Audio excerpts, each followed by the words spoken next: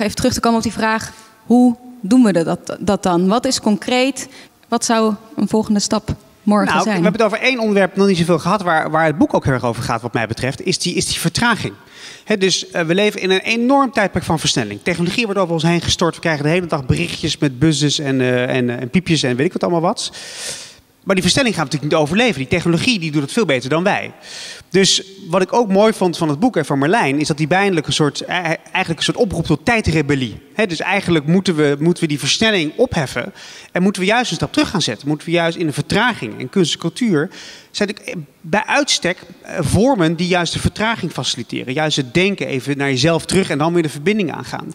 Dus als je aan mij concreet vraagt, is het gewoon... laten we in godsnaam tijd maken met elkaar... in organisatie, in mijn team, met mijn gezin enzovoort enzovoorts om stil te staan bij dat verhaal. Wat is dan die plek die ik heb? En hoe kan ik die plek dan bevragen en bevinden? En wat heb ik daarvoor nodig? En welke instrumenten en welke verbinding daarvoor aangaan? Dat kost gewoon tijd. En als je die tijd jezelf niet gunt en niet aan elkaar gunt... Ja, dan blijven we elkaar maar doorrennen... en dan val je echt een keer doodmoe neer.